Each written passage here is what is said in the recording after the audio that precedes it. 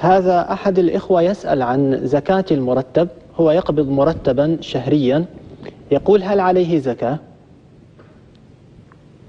هذا المرتب إذا إذا بقي عنده في المصرف أو في حوزته ما كان نصابا نعم. ما كان نصابا فعليه لما يوصل النصاب إذا كان في المصرف يأخذ كشف حساب ويشوف أم توصل النصاب ثم يستقبل به عاما. حولا نعم كم مقدار النصاب؟ الحول إذا لم ينزل نعم إذا لم ينزل عن النصاب عند الحول فليزكه وعند عند الزكاة يكون قد زكى ماله يعني حول من يوم آه، نصابه وماله حتى يوم كلها يجمع لأن زكاة المرتبات نعم. صعبة شوية أهل العلم الآن يكاد أن يتفقوا على أن يجعل يوما من أيامه السنة نعم. هذا يزكي فيه كل ما عنده في المصرف وما خارج المصرف من من مال يجمعه على بعضه ويخرج زكاته.